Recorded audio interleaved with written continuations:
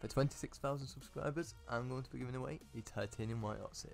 All you've got to do to enter is subscribe to the channel, turn on notifications, leave a like on the video, comment username down below. And also, join the Discord for Discord only giveaways.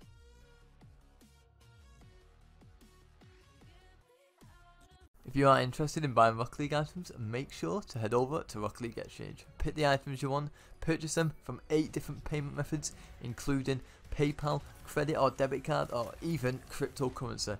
They have 24 hour support, fastest delivery times on the market with the best prices.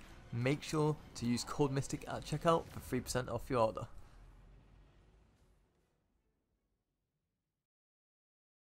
Hey guys, welcome back to another item shop. So I didn't do it yesterday. I was busy as it came out. I'm a bit late today, but still getting out, so it's not a problem. We've got the Gold Dominus from yes, uh, two days ago. Uh, the refresh it for another two days, which is fine. Uh, we've got this, which I can't actually go on because I'll get copyright. We've got